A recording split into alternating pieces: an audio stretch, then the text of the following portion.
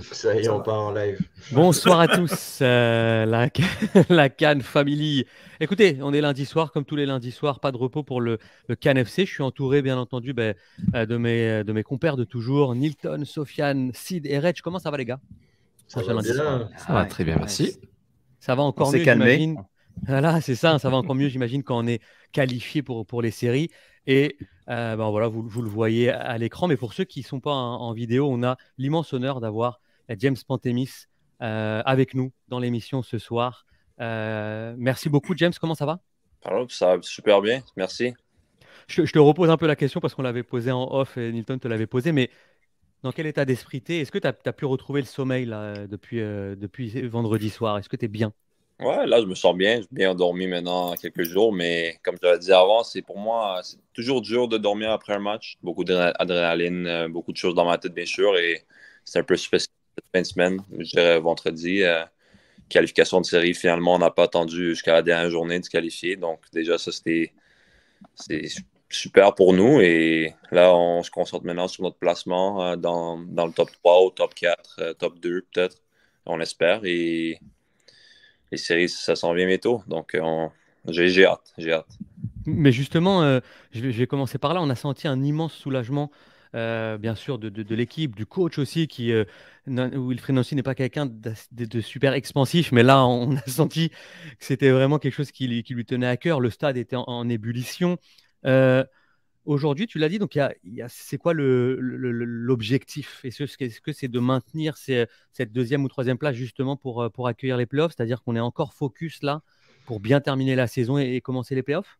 Oui, bien sûr. Je crois que, ben, premièrement, Michel a accompli pour notre premier objectif. C'était début de l'année, c'était dit qu'on voulait se qualifier pour le C. Et après, euh, on parlera de euh, placement, si on s'en va à, la Coupe de l'Est ou Coupe de la finale. Donc maintenant, ça, c'est dans l'horizon. On, sait que la moitié du travail est fait. Donc, on dit toujours que les playoffs, c'est une autre saison complète, complètement différente.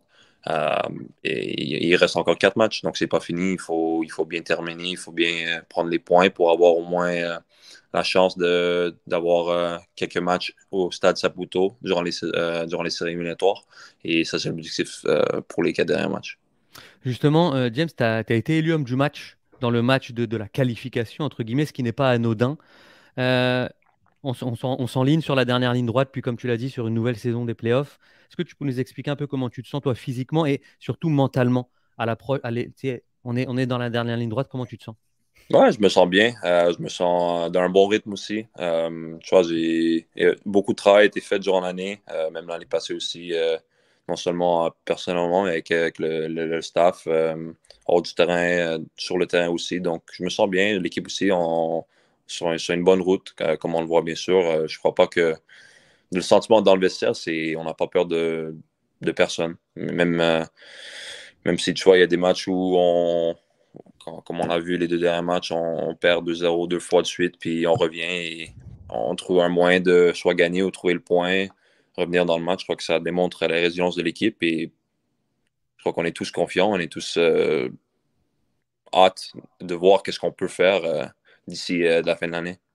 Je fais juste un petit point justement sur ce, public. Tu as dit au micro de, Frédéric Gall à la fin du match que c'était pour toi parmi les trois meilleures ambiances que tu aies connues au stade Saputo. On s'entend qu'en plus, en tant que gardien, t'es pas forcément toujours mis à contribution pendant les 90 minutes. Est-ce que toi, tu peux nous expliquer un petit peu ton, ressenti? Est-ce que ça fait du bruit d'avoir les, deux, euh, bah, les deux tribunes qui, qui s'envoient un petit peu les 16-42, la tribune 132 qui était remplie Comment tu le ressens toi en tant que gardien quand tu, entre guillemets, tu, tu participes pas au jeu? Oui, bien sûr, ça, change un peu, surtout euh, durant la première demi, parce que je dirais pour la, majorité de la saison, euh, en première demi, on est toujours devant la 132, puis il n'avait pas nécessairement le, les groupes de supporters qui étaient là, donc c'était un peu moins bruyant. Euh, tu aurais pu parler un peu plus à des défenseurs. Euh, mais je le vois de l'autre côté aussi que maintenant, quand euh, les, les, gardiens adversaires, ils, ils se placent, que ce soit devant la 132 ou la 1642, c'est bruyant. c'est dur pour eux de communiquer. je ne sais pas qu'est-ce qu'ils leur disent aussi. des trucs déconcentre un peu. Mais euh, non, c'était honnêtement, c'était une atmosphère incroyable. Surtout, je l'ai vraiment senti entre euh, dès qu'on a marqué le premier but, qu'il a fait à 2-1, donc les prochaines 6-7 minutes, c'était, je crois que tout le stade était debout. Je sais même pas la fois ça m'a donné des, des goosebumps euh, durant le match. C'était incroyable et j'ai hâte à voir comment ça va être durant les séries parce que je crois que ça va être encore plus émotif et plus brillant. Donc, euh, chapeau, chapeau partisan. Justement, James, là, tu sais, au KNFC, on n'a pas de. On parle vrai. Euh, tu, as commencé la, la, saison. Tu as, en tout cas, tu étais numéro un l'an dernier, puis euh, c'est Sébastien Breza qui a, qui a, été numéro un en début de saison, décidé par, par le coach. Tu as, tu as, pu reprendre, en tout cas, tu as eu la chance de reprendre ta place de numéro un en, cours de saison. On sait que le poste de gardien, c'est un poste compliqué parce que finalement, il n'y en a qu'un qui peut jouer. vous êtes trois ou quatre sur, dans le groupe professionnel. Est-ce que tu peux nous expliquer un petit peu comment tu, traverses cette saison-là, sachant que nous-mêmes, observateurs, on attend à ce que ce soit toi le, numéro un? Donc, tu sais, comment toi, tu, euh, comment tu traverses est-ce que tu peux nous expliquer un peu quel, euh, comment tu, professionnellement, tu rentres dans ta bulle, puis tu, attends ce moment, puis tu, captes ce moment pour pouvoir repasser numéro un et, peut-être nous amener euh, très loin en série? Ouais, comme tu as dit, je crois que moi, je le dis souvent aussi que je crois que le poste de gardien de but, c'est le poste le plus difficile sur le terrain. Euh, on est dans une position où on n'a aucune marge d'erreur. Euh, on peut faire un match euh, parfait pour 89 minutes et la 90e minute échappe un ballon et tu perds le match et tout le monde va se rappeler de, cette, action-là où tu, rates le ballon et tu fais, perdre l'équipe. ensuite, on n'a pas cette opportunité de rentrer dans le match comme, mettons, un attaquant ou un allié, rentrer 15 minutes, 20 minutes pour euh, au moins prendre des minutes, euh, ressentir euh, le rythme du jeu ou la vitesse du jeu. Pour nous, c'est une chance et il faut la saisir. Mais j'ai vraiment pris cette saison-là, surtout au début de l'année, pour pour, me concentrer sur qu'est-ce que je voulais m'améliorer euh, sur le terrain et aussi hors du terrain, comme j'avais dit avant. Euh, j'ai beaucoup travaillé dans le gym avec le préparateur physique, euh, des, des entraînements sur le terrain avec le coach et gardien, les entraîneurs aussi, que ce soit mon jeu au pied ou des petits trucs que je voulais m'améliorer de l'année passée. Donc, je prenais beaucoup de temps, beaucoup de temps à moi-même et j'attendais mon opportunité, que ce soit si c'était la première semaine ou premier mois de la saison, peut-être ça, ça aurait été le dernier match de la saison, on ne sait jamais euh, comment euh, le monde de, foot euh, fonctionne. Donc pour moi, c'était est-ce que je pourrais, ma, mentalité, c'est est-ce que je pouvais me concentrer et de trouver cette, pas, pas nécessairement une motivation parce que je suis toujours motivé, mais un peu de, je ne veux pas dire rage, mais trouver cette le petit feu dans, dans, moi-même pour, pour, me pousser, pour que je sois prêt pour cette opportunité-là. Et euh, quand le coach, que le coach voulait que je joue, j'ai pris mon opportunité. Et, je crois que c'est grâce au travail que j'ai fait depuis, depuis le début de l'année. Justement, James, euh, pour les auditeurs, tu l'as dit, le, poste de gardien de but est un poste à part, mais aussi dans l'équipe, c'est comme une équipe. Donc vous êtes trois ou quatre, comme j'ai dit, dans le groupe professionnel. Vous êtes toi et Sébastien Breza, de, jeunes gardiens. Tu l'as dit en, off quand on en parlait, tu dis le groupe vit bien et c'est pas une phrase que, tu sors comme ça au hasard. Mais on a envie de savoir un petit peu votre, votre groupe là de, gardiens de but. Tu peux nous expliquer un peu la relation aussi que tu as aussi avec l'entraîneur des, des, gardiens? Parce qu'on s'entend, même pour nous observateurs, la hiérarchie n'est pas forcément coulée dans le marbre. En tout cas, cette année, ça, vous êtes euh, quand même à, des niveaux qui sont euh, assez similaires. Donc, beaucoup se disent est-ce qu'ils s'entendent bien réellement? C'est quoi l'idée? Parce qu'on on sait que, moi j'ai fait l'interview avec un, entraîneur des gardiens et un ancien professionnel, c'est très important finalement que les, trois ou quatre gardiens, même je dirais, bah, tirent ensemble dans le même sens pour justement donner ces, résultats-là. Toi, tu as connu ces deux situations, de numéro 2, tu es repassé à numéro 1. Comment on vit ça? Comment vous vivez ça les quatre ensemble?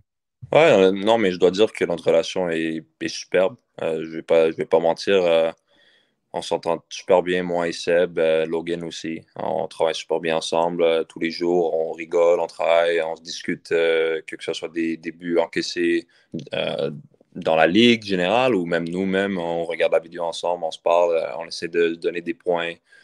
Qu'est-ce que tu aurais fait? Qu'est-ce que je devrais dû faire? Est-ce que tu penses, oh, c'est super bien, bien fait ici? Donc, on a tous aussi un style différent. Il n'y a aucun gardien dans le monde qui joue pareillement à, l'autre. Donc, euh, c'est toujours intéressant de voir les différentes tactiques, les différentes façons de jouer.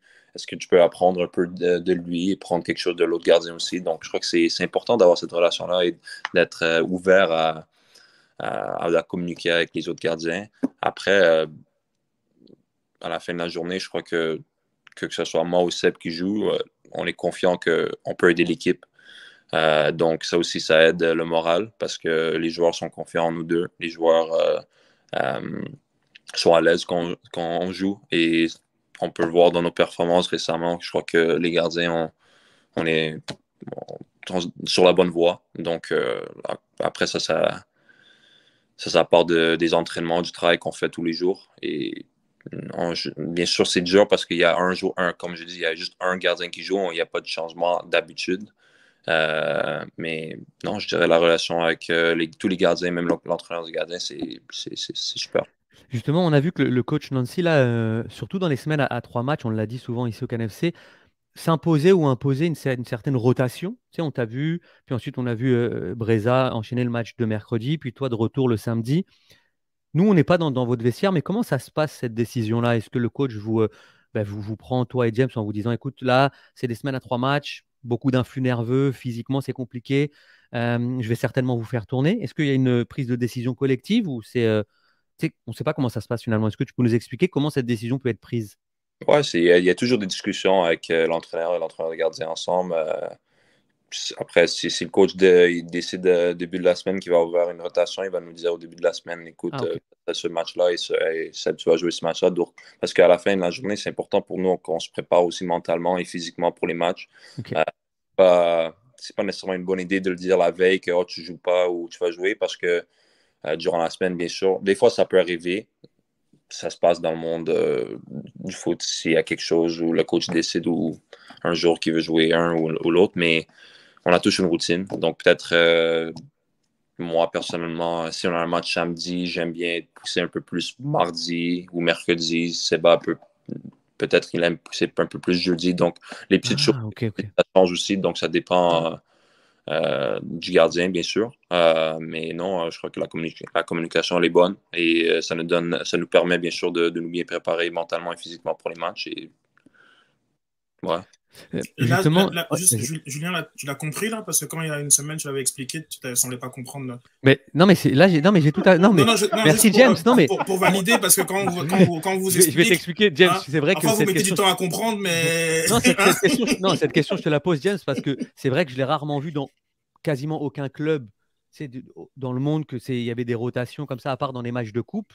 Et tu sais, ça m'avait surpris, je l'avais dit, je l'avais posé comme question d'ailleurs euh, en débat, puis si on m'avait rionné parce qu'on m'a dit, bah, si c'est comme ça, c'est comme ça, c'est que ça doit être fait. Et puis, je suis, je suis heureux que tu, tu viennes mettre des, mots sur, euh, sur ce que je ne savais pas. Donc, merci beaucoup. Mais, mais, je reprends un petit peu là, James. Tout à l'heure, tu parlais le travail de l'ombre, que ce soit sur le terrain ou en dehors du terrain. J'aimerais savoir, toi, où est-ce que tu as le plus progressé durant ces deux années, finalement Et quelle est ta marge de progression encore sur, sur des aspects purement techniques de gardien Ouais, pour moi, euh, honnêtement, je crois que j'ai mis beaucoup de concentration sur mon travail euh, dans le gymnase pour, euh, pour que ce soit renforcer mes épaules ou ma poitrine. J'avais des problèmes d'épaule aussi, genre, je dirais, les 3-4 dernières années, quand je recevais des frappes. j'étais pas. J'étais solide, oui, mais des fois, si j'étais trop en extension, je le sentais un peu. Donc, je voulais vraiment être plus fort quand je recevais euh, quand je plongeais et j'étais en extension, je voulais que mon bras reste solide pour que la balle bien sûr sorte et que je, ne recule pas avec le ballon. Donc j'ai mis beaucoup de, euh, de travail sur, sur ça. Euh, aussi, je voulais, je voulais. Déjà, je savais que j'avais un bon jeu au pied, mais je voulais, je, je voulais être plus constant avec mes décisions. Est-ce que c'était le moment? J'ai trouvé un peu l'année passée, bien sûr, parce que c'était ma première année de vraiment jouer. Des fois, j'attendais un peu trop longtemps de faire mes décisions. J'attendais un peu trop avec la balle au pied. Maintenant, si je la sens pas, je la dégage. J'essaie de trouver euh, mon attaquant de pointe ou non. Si je la sens, là, je vais prendre ma touche et je vais jouer. Donc, c'était un peu mes prises de décision que je voulais tu vois, mettre un peu plus de focus durant les entraînements aussi parce que ça part de, là. Donc, euh, si, je me permets dans les entraînements de euh, pas prendre de risques, je sais que dans les matchs, je vais pas prendre ces. ces... Donc, c'est un peu le, genre de travail. Mais pour améliorer ta, prise de décision, James, c'est-tu avec du travail en vidéo ou c'est du contexte seulement en entraînement? Non, je dirais les deux. J'ajouterais aussi les matchs. Les matchs aussi, c'est le meilleur outil pour, pour améliorer. Euh, vidéo, oui, bien sûr. Après chaque match, je regarde des vidéos, même les entraînements, c'est toujours filmé. Donc, on regarde les situations. Euh, euh, si ça, c'était un bon exemple, est-ce que je peux prendre une touche ici ou tu aurais dû peut-être sauter une ligne? Donc, toujours, toujours des petits, des petits outils, des petits trucs pour, pour voir ces, détails-là. Donc, oui, je dirais les vidéos m'ont aidé aussi, mais c'était surtout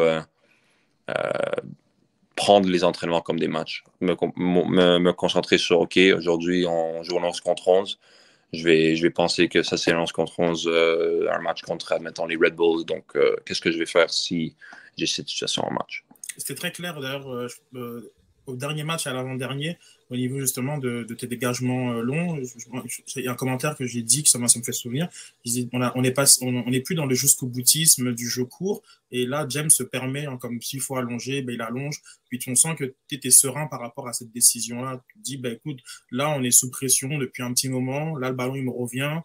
Ils sont déjà très hauts sur le terrain. Ça sert à rien de vouloir rejouer court je, comme je, la dégage, même si je cherche une zone où il y a, il y a Kyoto ou, ou, autre, mais je, je, te sens plus à l'aise avec l'idée que j'ai pris cette décision-là, puis c'est pas un souci, parce que dans le grand schéma des choses, ben, vaut mieux ça que euh, qu'une interception euh, à, mes 20 mètres. Oui, Ouais, exactement, tu as raison, parce que si je pense encore une fois l'année passée, je crois, je crois que des fois, je pas nécessairement que je forçais les passes, mais je cherchais toujours à trouver la passe courte ou la passe entre les lignes au lieu d'allonger, comme tu as dit.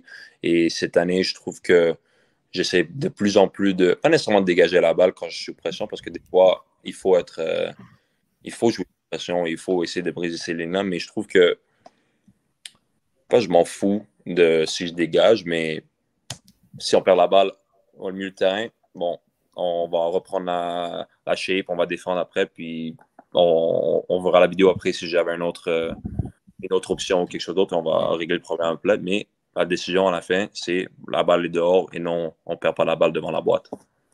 James, ta présence amène beaucoup, beaucoup de, de, personnes qui nous regardent, beaucoup de questions. J'en ai pris une parce qu'elle me semble intéressante dans, là, à la, fin de la saison.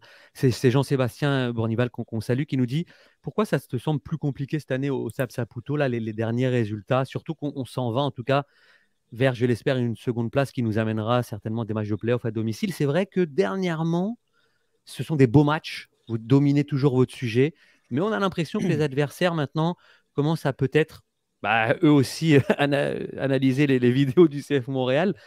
Donc on, a, presque plus l'impression que vous êtes plus à l'aise à l'extérieur. Ouais, je dirais que euh, je sais que les, je vais mettre aussi le match de Toronto dans, cette équation aussi. Je crois que les trois derniers matchs étaient un peu plus difficiles pour nous. je crois que dans les trois matchs, on a pris le premier but, même le deuxième but euh, en premier. Donc, euh, c'était difficile. Je ne vais pas dire que euh, utiliser la fatigue comme excuse, mais c'est un, un stretch qui était quand même difficile pour nous, je dirais, les dernières trois semaines. Je crois que c'était six matchs en trois semaines ou quelque chose comme ça. mais encore une fois, on trouve un moyen, à part le match de, Red Bull, bien sûr, mais on trouve un moyen de revenir dans les matchs. Mais bien sûr, on aimerait mieux partir parce que je me rappelle aussi, je, début d'année, milieu de l'année, on marquait toujours la deuxième minute ou troisième minute dès le début du match. Et toujours un. Euh, on commençait toujours bien, mais des fois, à la fin, on prenait le but ou on, gérait mal. Des fois, mais je dirais que c'est mieux que l'année passée, bien sûr. Mais euh, ouais, je crois que je ne crois pas qu'on est, on est inquiet euh, parce qu'on sait, on sait qu'on va sûrement avoir euh, hmm. euh, un match de playoff chez nous. et avec le bord des partisans, je crois. Mais si on prend le premier but ou on marque le premier but, ils vont derrière nous, ils vont nous pousser pour que hmm. on se réveille. Pour, si on mal, mais non, non, je ne dirais pas qu'on est nécessairement inquiet, mais ouais, bien sûr, c'est quelque chose à, à discuter. En tout cas. Euh, James, j'ai deux petites questions rapides. La première, bon, tu es gaucher, évidemment, tu, tu frappes, tu, tu, passes aussi du droit. Mais est-ce que c'est plus dur pour toi d'être un gardien gaucher pour les dégagements? Parce qu'on sait que les gauchers en général, les joueurs de terrain, sont, sont pas aussi bons dans avec le droit, puis alors qu'un droitier peut être très bon avec la gauche.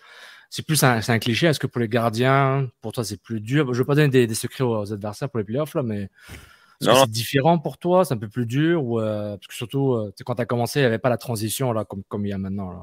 Tu vois, c'était plus jeune. Et c'est drôle parce qu'on on débat toujours ça avec euh, mes quelques coéquipiers. Parce que moi, je dis que tu as raison. Moi, je crois que les gauchers ont un plus mauvais pied droit que les pieds droits un peu mauvais gauche mais je crois que le gaucher fera mieux la balle que les droitiers. Donc, on a, quelque chose d'un peu plus spécial que les droitiers. Je dis toujours, surtout euh, à, Joel et, et Alistair, parce que les deux, on est gaucher, puis on frappe, on dit toujours on frappe mieux euh, à gauche. Mais non, ça ne change pas nécessairement pour moi. À la fin, tu joues, tu joues, euh, tu essaies de jouer tes forces. Donc, je si, si, si, admettons, je te donne un exemple sur les coupés de, de but.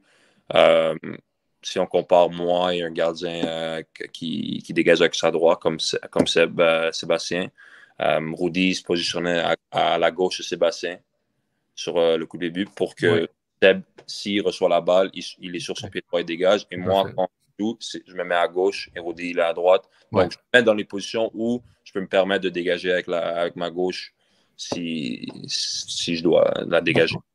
Et puis, une, question que j'essaie de poser à chaque joueur qu'on a ou coach, en quoi ça change pour toi d'avoir cinq changements? Un gardien, c'est peut-être différent, mais quand tu le vois sur le terrain, est-ce que tu sens une différence par rapport aux adversaires, par rapport à tes coéquipiers? Il y a plus de changements, changements tactiques. Comment tu le vis Parce que c'est quand même un grand changement dans le foot. Euh. Et moi, je l'aime bien. Honnêtement, ça donne l'opportunité à plusieurs joueurs, bien sûr, de rentrer et ça aide euh, le coach à faire beaucoup plus de changements tactiques. Euh, en plus, avec la règle où à la mi-temps, tu peux faire un changement, mais ça ne compte pas nécessairement comme un moment. Donc, tu as cinq changements, trois moments, mais si tu le fais à la mi-temps, ça compte pas pour un moment.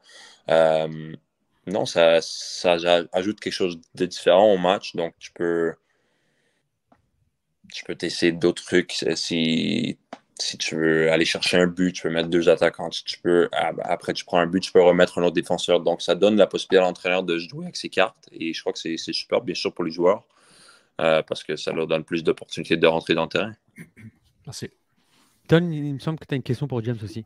Oui, je me demandais, euh, puisque le directeur technique, ben, c'est un ancien gardien, tu as eu des situations où tu étais deuxième, tu devais un peu attendre, tout ça. Est-ce que est-ce qu'il en profite vu que lui, il a ces expériences-là de gardien pour te, pour te parler ou il laisse ça un peu plus à son staff? As-tu une relation de gardien, ancien gardien avec, euh, avec Olivier? Non, je dirais euh, les décisions sur le terrain, c'est surtout avec le, staff technique euh, mm-hmm. Discute. bien sûr qu'Olivier, comme tu as dit, il avait une carrière euh, en tant que gardien de but. Je dirais des fois, euh, après des matchs, dans le vestiaire, quand il est là, on parle d'une action dans le match ou un but. Pas nécessairement, oh, moi j'aurais fait quelque chose comme ça. Non, il ne parle, jamais comme ça, mais euh, non, c'est toujours une discussion ouverte parce qu'à la fin, c'est comme j'avais dit au début de, de, ce podcast, c'est les gardiens, on, on est on n'est pas pareil. Donc, tout le monde est différent et on essaie toujours de trouver des petits trucs de chaque gardien. Oh, j'ai aimé comment il a sorti pour cette balle. Oh, j'ai bien aimé comment il a lancé. Donc, les techniques, et on, c'est comme, pas nécessairement un débat, mais on, on, partage nos, nos, idées toujours. Mais vu, vu que vous êtes des petites bébêtes à part des gardiens. Est-ce que ça arrive qu'il y a comme une solidarité entre les gardiens et les défenseurs? on le voit sur le terrain, des fois, un défenseur n'est pas tout à fait d'accord que c'est de sa faute. Le gardien, il pense que. Est-ce qu'il peut est-ce que ça peut arriver où tu, tu, vas prendre la défense un peu de Breza puis dire, disons, à Joel ou à Camacho, non, je pense qu'il avait raison, c'est ton placement qui était mauvais. Est-ce qu'il y a ce genre de dynamique-là qui existe entre ah, les défenseurs et les gardiens? Toujours, toujours. Tu vas ah, backer ton boy, là. même, si c'est, même si on a une équipe, euh, à la fin, si on prend un but, euh, la majorité des fois, c'est la faute au gardien. Tout le monde dit que c'est la faute au gardien. Mais on va passer par, euh, par les milieux de terrain, les défenseurs. bien sûr, il y, a des, des fois il y a des petits chicanes entre, entre les gardiens et les défenseurs parce que les défenseurs, ils n'ont jamais tort. bon, là, tu es en train de décrire Sid. Il n'a jamais tort. Ouais, c'est vrai. Vrai. Non, mais c'est pas grave, Julien. Tu as eu tort sur la rotation. Tu pas obligé d'y revenir. Donc, ne, pourris pas notre entrevue parce que tu viens d'apprendre quelque chose. C'est correct. mais on parlait un peu justement de, ce, de, de, ces, justement de ces chambrages où euh, euh, on a parlé en, off et j'aimerais que tu, nous en discutes un petit peu parce que c'est mon expérience de vraiment de, vous couvrir euh, au quotidien. Je vois que sur les, sur les jeux, vous chambrez énormément. Euh, et c'est super agréable parce que c'est toujours très, très friendly. Vous venez dans la phase, parfois c'est des jets, de bouteilles d'eau, enfin de, de gourdes et tout, etc. Donc c'est assez le fun de vous voir aller. Euh, cette, cette, atmosphère, est-ce que tu peux un peu nous la décrire de, de, l'intérieur? On sait, oui, ça gagne 16 victoires, record de buts, record de points, etc. Ça aide, ça contribue. Mais j'ai l'impression qu'il voilà, y a un petit, un petit truc spécial euh, dans votre façon d'être euh, les uns les autres. et j'aimerais que tu nous en parles un petit peu de ça. Oui, bien sûr. Je crois que le groupe, est spécial. on est tous amis, on est tous je dirais. Et surtout dans les, dans les petits jeux où il, y a, il doit y avoir un gagnant.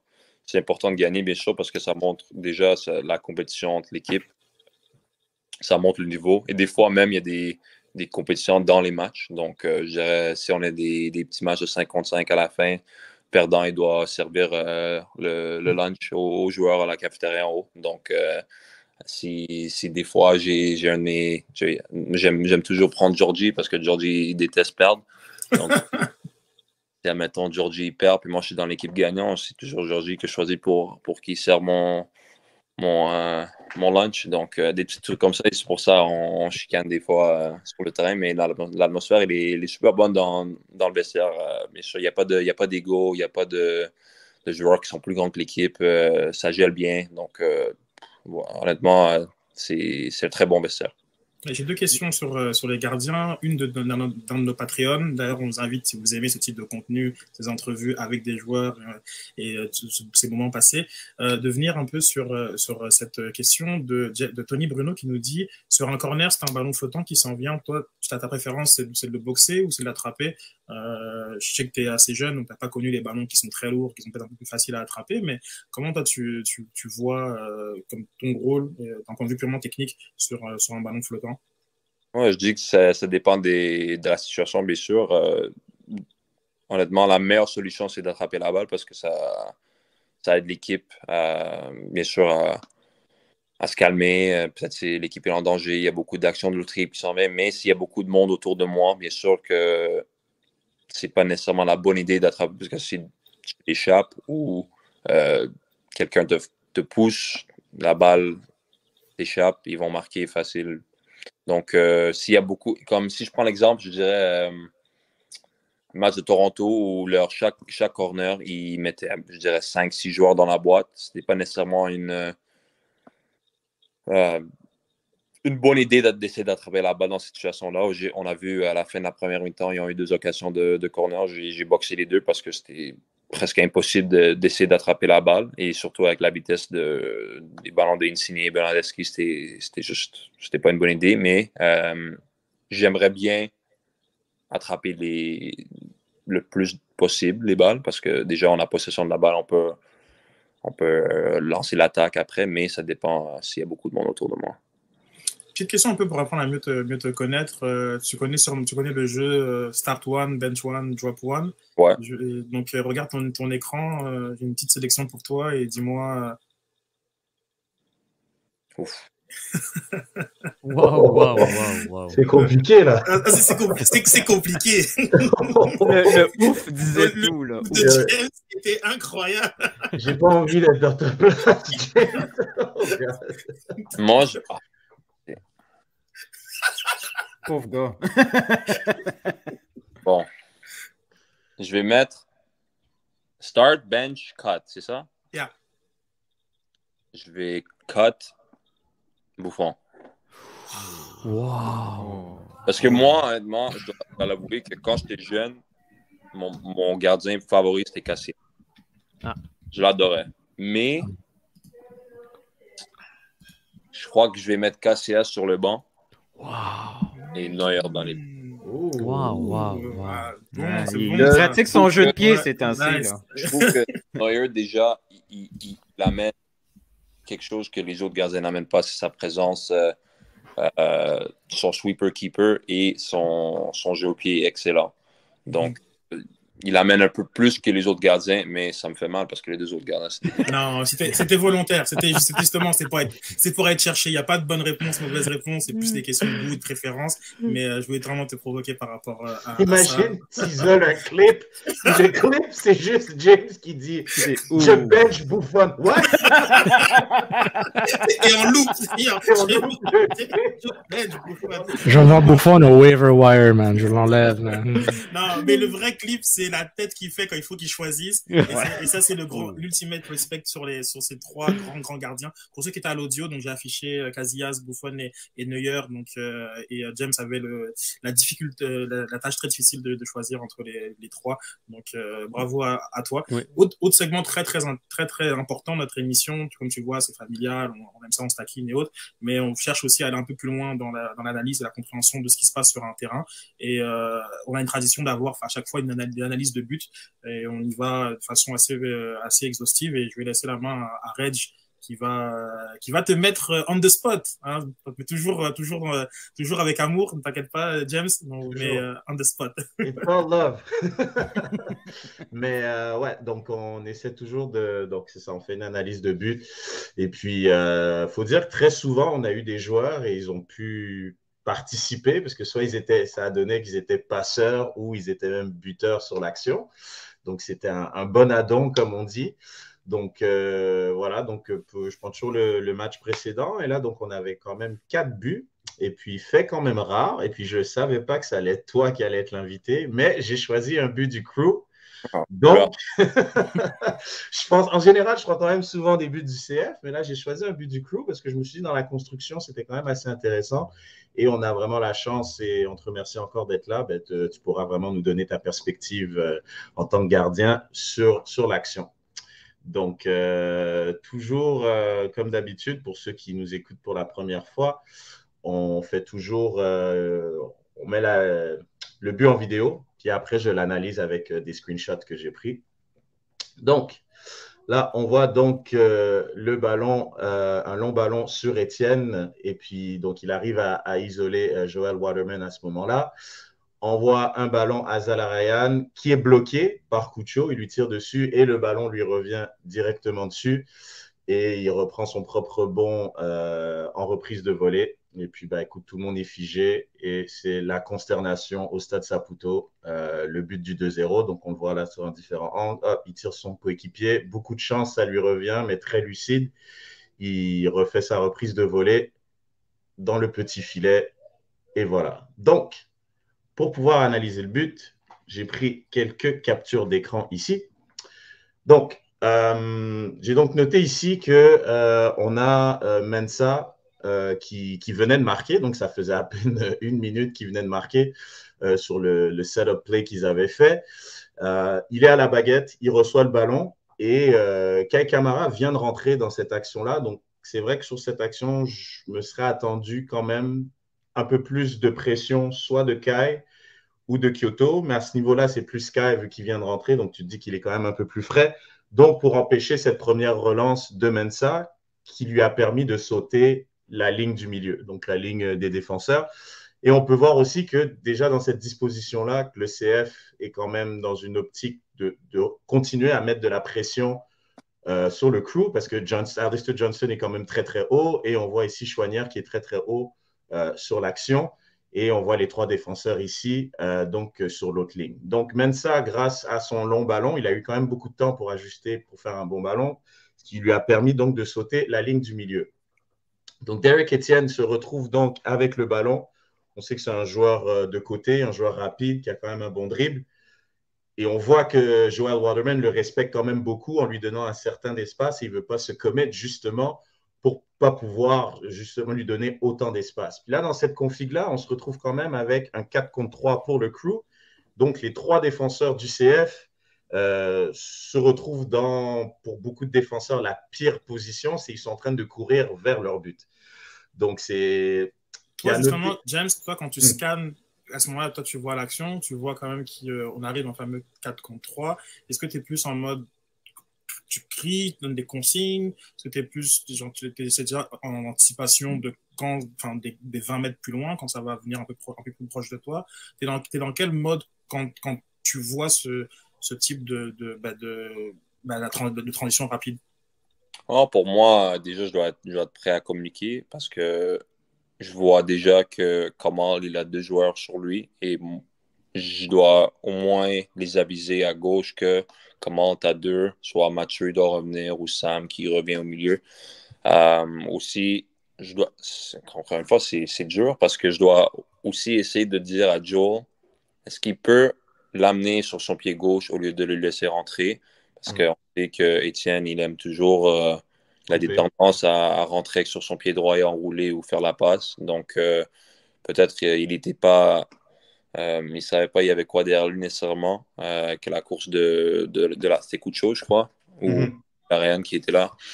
Euh, mais donc, pour moi, je me concentrais plus sur le côté gauche que sur Waterman. Donc, je me, je- si je me rappelle bien de, de ce que je pensais dans, dans le moment, euh, est-ce qu'on peut avoir au moins un autre joueur qui peut venir couvrir le quatrième joueur de, de Columbus? Fait que là, dans cette action-là, comme, euh, comme James vient de le dire, donc Waterman a dû av- avoir les, les directives de James, arrive à isoler Étienne. Évidemment, on connaît son style de jeu. À ce moment-là, en plus, Étienne, il ralentit, ce qui permet aux autres joueurs du CF de rejoindre l'action et justement de réduire le surnombre à ce moment-là. Je pense que c'est- plus ça qui m'interroge un petit peu plus puis qu'on voit un peu, puis que ça m'interroge aussi sur l'ensemble du match de Victor, que moi j'ai trouvé un peu décevant par rapport aux dernières semaines. Il- Je trouve qu'il y avait énormément d'espace entre Piet et Tu vas avoir une surprise hein, dans, la, dans la section MLS is back. hein. Je vais avoir une surprise, sûrement, non, il n'y a pas de problème. Euh, donc là, à ce niveau-là, moi, en tout cas, moi, de, mon, point de vue, de mon analyse, j'ai trouvé que dans ce match-là, il avait connu des meilleurs matchs. Euh, donc là, Étienne ralentit. Alistair Johnston a le temps de double team Étienne et de supporter Waterman si jamais il y a quelque chose. Euh, Piet est déjà quasiment au même niveau que Zela Ryan, qui est le buteur, et le même niveau que Diaz aussi. Donc là, l'action est quand même un peu, on peut dire, quasi neutralisée. Je pense que tout le monde est quand même dans une position où il n'y a pas grand-chose qui peut se passer. Et puis là, euh, même au cas où, où Sands, que, que j'ai trouvé qui a fait un très très bon match, peut être aussi couvert par Johnston si jamais il fait euh, le overlap. Et c'est là, en fait, donc, à ce moment-là, Wanyama, c'est ça que je disais, donc l'écart avec Piet, je ne les ai pas trouvés très. C'est comme s'ils ont chacun travaillé un peu de leur côté et moins en duo comme ils ont souvent ou plus souvent l'habitude de le faire. Et là, ben, Wany- Wanyama était quand même assez en retard sur Zela Ryan qui reçoit le ballon. Puis là, on, on- là, on s'entend, on n'est est plus du tout dans le 4 contre 3 tout à l'heure. Là, on est vraiment limite, il y a plus de joueurs du CF. Euh, il y a très peu de joueurs en plus du crew qui sont comme impliqués dans l'action, genre Sands qui est en bas, pas vraiment impliqué. Diaz est couvert par Chouanière. Donc là, il y a vraiment Zela Ryan, Cucho et, euh, et, et Derek Etienne qui a donc fait la passe. Et puis, donc, comme je disais, donc, il, a, il a eu de la chance parce qu'il a fait sa passe, il a fait son tir qui a été bloqué par Cucho.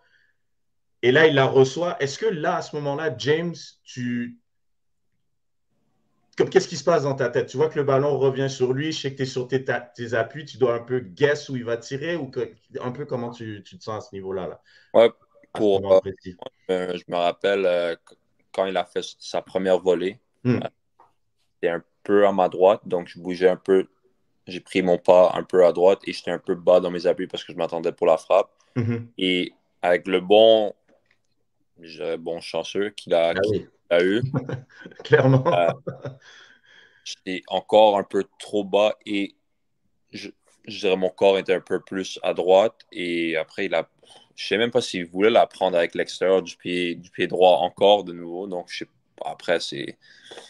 Ah, C'est un bon joueur, c'est un joueur de qualité qui, qui peut bien sûr réaliser Mm. des coups comme ça, mais pour moi, euh, c'est est-ce que je est-ce, est-ce que je peux rester un peu plus haut, plus long possible? Bien sûr, c'est dur parce que je m'attendais que la première frappe euh, passe à travers les joueurs. Euh, ensuite, je dirais pas que j'étais à contre-pied, mais je pensais plus qu'il allait à ma droite que ma Mais gauche. ça s'est vu que tu étais à contre-pied, vu ta réaction, parce que tu étais à moitié par terre et comme si c'était comme Ah, j'ai j'ai pas pu y aller vu que je n'étais pas sur le Ouais, je crois que en fait. tu vois, euh, dès qu'il a pris cette frappe-là ici, euh, sa première fois, sa Mhm. première frappe, j'allais déjà à droite. Ouais, C'est trop bas pour me replacer vite. Donc, je comprends.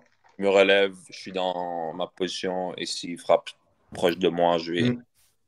Mais je sais, je sais que c'est plate de prendre n'importe quel but, là, mais quand tu prends une reprise de volée là, au, au 16 mètres, quasiment à bout portant, ça va dans ton petit filet, est-ce que c'est pas plus facile à accepter parce que Non, pour moi, j'étais plus frustré parce qu'on a pris deux buts en une minute que Et même si c'est une reprise de volée ou une frappe euh, intérieure du pied, ça ne me dérange pas de. Bien sûr, si c'est un but en lucarne, euh, chapeau, qu'est-ce que je vais faire, mais. Ouais, mais j'ai l'impression que ce but-là, c'était un petit peu. Ouais. Ce, ce type-là où vraiment c'était.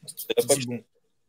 tu vois, une, une- une faute de, de, de ma part. Ou, euh, mais après, on, re- on regarde toujours les petits détails. Mais euh, pour moi, j'étais plus fâché sur le coup, encore une fois, que on a pris deux buts en comme ça, 30 secondes, vite. Où on je dirais qu'on avait un, peu le contrôle au début de la deuxième demi. Euh, mais ouais, c'est, toujours de prendre un but parce qu'après, c'est moi qui dois marcher vers euh, la ligne de but, prendre le ballon et la- le remettre dans, dans le jeu. Donc, euh, jamais, jamais facile. J'avais jamais, j'avais jamais pensé à cette espèce de walk of shame. c'est vrai quand même que pour- Et- ça pourrait être un défenseur qui va prendre le ballon pour dire bon, c'est vraiment notre faute, on a très mal défendu. Toujours, euh, quand je regarde surtout les, les, les reprises de, de vitrin un but, la caméra, c'est toujours sa pointe. C'est ce que j'allais dire. Et Et, après, au et- gardien, et tu sais il envoie. qu'en télévision, ça, après, ils pointent aussi sur le remplaçant. Tu sais, c'est- Ouais. c'est comme c'est le nouveau délire des producteurs, c'est qu'il y a, il y a le gros plan sur toi, puis après, il y a un gros plan sur le, sur le remplaçant. Là, Qu'est-ce que tu veux dire? C'est vrai que ça arrive souvent. Mais, bon, ben, cette action-là, c'était bien d'avoir aussi ton, point de vue, vu que c'est ça, tu étais quand même impliqué aussi sur l'action. Mais pour finir, ça, donc vraiment, au dernier geste de l'action, ben, on, était parti quand même sur un 4 contre 3 euh, du crew. Et puis là, à la finition, on est carrément, il y a 7 joueurs euh, du CF avec 3 joueurs, vraiment 4, mais 3 un peu plus impliqués peut-être dans l'action. Donc, on s'est retrouvé peut-être avec un, un C- des joueurs du CF Montréal qui étaient peut-être encore un peu stun euh, du but juste avant, puis que là, donc, il y a eu la, la- la- à peine une minute après, et puis qu'ils étaient encore un peu en mode euh, attentiste peut-être. Et je dis que c'est c'est dommage parce que je crois que si, je sais pas si c'est comment ou Cucho qui bloque la première frappe, mais Et Cuccio, ouais. c'est, comme tu l'as dit, on est 7 contre 4. Hmm. Et d'une position, on est parti de 4 contre 3 à 7 contre 4. Je crois qu'on était dans une La bonne. situation était neutralisée, là, je trouve. Ouais, bien sûr. Et si le bon va dans notre faveur, c'est, on discute même pas de cette action après. Mais après, il, le, bon, il- le bon élimine deux joueurs. Le bon élimine deux joueurs, puis c'est vrai que lui aussi, puis on, on le voit aussi dans l'action avec, avec, avec Étienne qui rentre, il envoie la passe. Zelarayan, il arrive, il a des intentions claires, il prend en volée, puis il était prêt, il avait faim, fait que la volée, en fait, il, il- il a un peu créé un peu sa chance aussi, mais je suis d'accord avec toi que bah, si le bon va dans l'autre sens, beaucoup de chance. Là. Ouais, il y a beaucoup de chance, mais après, il est là au rebond aussi, tu vois. Il aurait pu être un peu endormi, puis il prend pas le rebond parce qu'il n'y croit pas vraiment. Donc, il y Alors, croyait. puis- Pour tous ceux qui nous écoutent encore là, gratuitement, donc on, devenez membre du CanFC, comme ça on pourra compiler des arrêts de James Pantemis. hein. On, va- on aura le, on aura le temps de compiler des arrêts et on va prendre plus de plaisir euh, la prochaine fois avec James pour lui montrer Ouais, ce qu'il fait, fois, un arrêt. voilà, ce qu'il fait de très très bien. Donc, on va, on va- pas regarder le premier but que j'ai pris non plus. Donc, Euh, Non, non, non, non, non, non, c'est ça, voilà, tu vois. Donc voilà, vous êtes là, vous avez Mais si fait. jamais t'en mets une, là, si jamais tu, fais, Ouais. euh, tu réussis un- une tête sur un corner à la 90e, Et ça, on t'invite. Tu viens ici, on analyse ça. Mais ça dépendra, ça dépendra du nombre de Patreon. Mais euh, James, écoute, euh, merci beaucoup, merci spécial euh, à toi parce que tu es venu dernière minute. Euh, je, sûrement, je te remercie énormément. C'était, c'était pas prévu, puis tu as, accepté l'invitation et j'espère que tu as pris autant de plaisir que, que, que nous, que les gens ont aussi appris, ont appris à, à te connaître, mettre aussi, euh, à, comme on dit, une voix, un visage, euh, beaucoup plus de choses parce que c'est un peu facile quand on est un peu de l'extérieur de, de, de porter des jugements. Mais là, euh, vous voyez qu'il y a beaucoup, beaucoup de choses qui, qui rentrent en considération euh, dans le travail d'un gardien notamment. Donc euh, merci beaucoup James d'être d'être venu. J'espère que tu as pris du plaisir. Et euh, je peux te dire, le, vu le nombre de messages qu'on reçoit de, de, gauche à droite, les gens sont très très très contents euh, que tu sois avec nous. Donc euh, voilà. Donc grand merci, merci du temps que, as, que, que tu nous as consacré. Merci d'être venu comme ça vraiment à la, à la dernière minute. Euh, on te souhaite une bonne fin de saison. On aura peut-être l'occasion de se, de se reparler d'ici d'ici là pour, pour des bilans ou autres. Maintenant, bah, comme on dit, comme on dit à chacun, tu connais la maison, voilà, donc euh, le CanFC te permet voilà, de pouvoir t'exprimer aussi, de parler foot, ballon, et, et ça, c'est ça qu'on aime tous. Donc euh, un grand, grand merci euh, à toi, James, et euh, je te souhaite euh, à très bientôt. On va se croiser demain au stade. je marque mon but, ça c'est. c'est ta motivation, là. C'est ça. Merci beaucoup. Merci, c'est James. super, Merci, C'est tout le man. monde. Take care. Ciao. Waouh. C'est fou comment c'est euh, c'est pas la même chose du tout quand son, son- sa perspective sur sur l'analyse de ton but là Reg ça change tout. Il explique tout il enfin c'est c'est vraiment L'ana- L'analyse, elle est assez ouf aussi, mais bon, mais je suis d'accord avec toi. la- la- l'analyste l'analyste Et l'analyste je suis d'accord avec toi. Euh, l'analyste, il est- l'analyste, hors pair l'analyste il est hors pair mais le ah non, c'est Non, Euh, top. Écoute, là, euh, regardez, juste là pour un peu pour teaser euh, ceux qui sont encore euh, les, les gratuits. Oh. Wow, wow, Ah non, mais pour wow, vous dire à quel wow. point, à quel point le show. C'est Ah non mais Qu'est-ce que Parce que c'est là, qu'est-ce que gens, que le disent- ils pensaient première mi-temps et là c'est la deuxième mi-temps. Donc là, voilà. Mais euh, amis euh, gratuits, hein, on va vous quitter, on va fermer tous les, tous les, toutes les choses public, on va rester en privé, entre Patreon, devenez membre, c'est un dollar par semaine, c'est rien pour tout ce du bon contenu. Vous aimez votre club, vous aimez le, le, le- le foot, donc comme devenez, devenez membre de podcast, arrêtez de tergiverser, il y a, il y a- c'est un dollar par semaine. Ne racontez pas trop de choses avant de, de- de justifier de pas être abonné. On doit avoir au moins 19 604 abonnés. Donc, on vous attend, les amis. Euh, c'est c'est ça la barre qu'on vient de se donner. Euh, on va faire donc une. Tiens, on va partir de générique. Je vais, je vais, je vais enlever les, les Twitter et les, euh, les Facebook en attendant. Et euh, on enchaîne. Eh oui, on enchaîne. Générique, go. Les pionniers du podcast soccer. C'est la référence soccer à Montréal. Tout simplement les meilleurs. C'est le Cannes Football Club. La série soccer.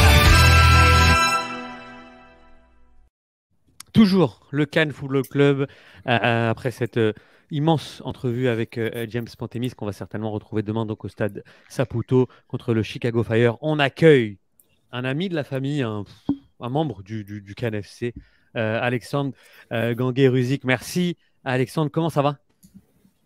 Ça va bien, ça va très bien ici. Euh, je me sens bien comme cinquième changement aujourd'hui, comme James avait mentionné. À la mi-temps, je rentre bien. Le coach m'avait dit de préparer, j'étais là dans le vestiaire, j'étais un peu en fort, train de me préparer, alors je suis, je suis très, très prêt pour. Eh euh, ben, eh ben, tu sais, en plus de ça, quand, tu arrives, es, le changement qui apporte le, t'sais, un, vent nouveau. Là, on est reparti pour, euh, pour une heure et demie, deux heures de, de show euh, en ta compagnie. Encore une fois, merci. On va parler donc euh, du CF Montréal, mais aussi, puisqu'on va, on rentre aussi dans la dernière ligne droite bah, avant la Coupe du Monde. On va profiter de ta présence pour bah, faire un point sur, sur Team Canada. Je sais que tu as beaucoup de contenu sur, sur One Soccer. Puis voilà, j'aimerais que tu nous